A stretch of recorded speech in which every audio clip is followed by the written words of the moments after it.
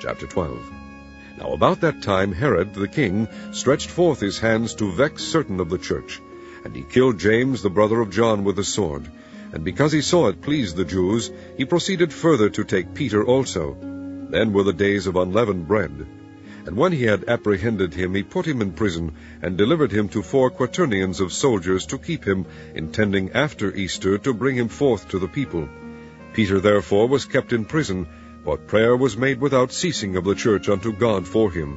And when Herod would have brought him forth, the same night Peter was sleeping between two soldiers, bound with two chains, and the keepers before the door kept the prison.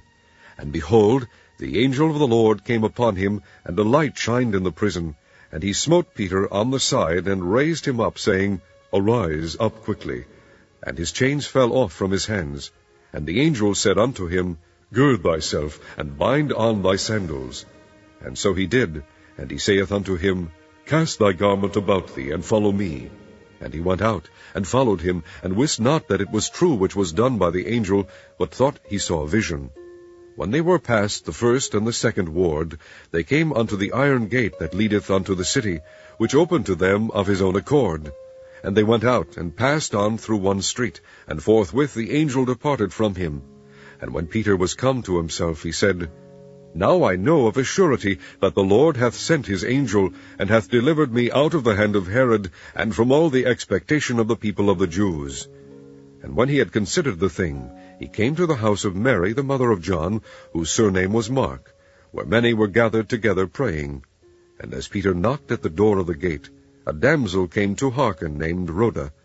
And when she knew Peter's voice, she opened not the gate for gladness, but ran in and told how Peter stood before the gate. And they said unto her, Thou art mad. But she constantly affirmed that it was even so. Then said they, It is his angel.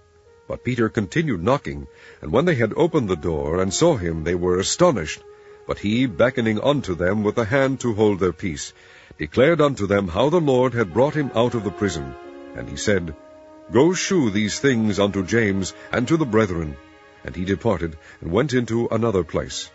Now as soon as it was day, there was no small stir among the soldiers what was become of Peter. And when Herod had sought for him, and found him not, he examined the keepers, and commanded that they should be put to death. And he went down from Judea to Caesarea, and there abode. And Herod was highly displeased with them of Tyre and Sidon, but they came with one accord to him, and having made Blastus the king's chamberlain their friend, desired peace, because their country was nourished by the king's country. And upon a set day Herod, arrayed in royal apparel, sat upon his throne, and made an oration unto them. And the people gave a shout, saying, It is the voice of a God, and not of a man. And immediately the angel of the Lord smote him, because he gave not God the glory, and he was eaten of worms, and gave up the ghost. But the word of God grew and multiplied, and Barnabas and Saul returned from Jerusalem, when they had fulfilled their ministry, and took with them John, whose surname was Mark.